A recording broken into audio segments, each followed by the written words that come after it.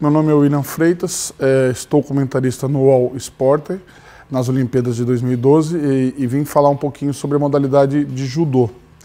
Hoje nós tivemos nosso primeiro dia com grandes resultados. Tivemos o atleta Felipe Kitadai, que foi medalha de bronze na categoria até 60 quilos. Só perdeu para o Sobirov, que é o primeiro do ranking, bicampeão mundial, e venceu todas as outras lutas um excelente resultado. Foi a primeira medalha nesta categoria em todos os tempos do judô.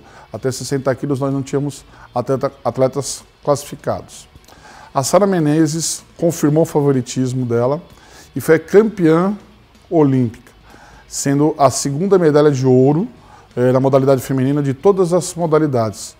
Eh, com isso ela ganhou a categoria 80, 48 quilos e e vinha sendo a terceira do ranking correspondeu às projeções em cima dela. Amanhã nós temos mais boas expectativas de medalha. Temos o Leandro Cunha, o Coxinha, que é o quarto do ranking mundial, e temos a Érica Miranda, terceira do ranking mundial. Se for pela projeção de hoje e a expectativa que o judô está criando nessas Olimpíadas, devemos ter mais um pódio. Uh, o judô projetou para essa Olimpíada quatro medalhas. Eu acho que vai passar. Estamos na expectativa de passar.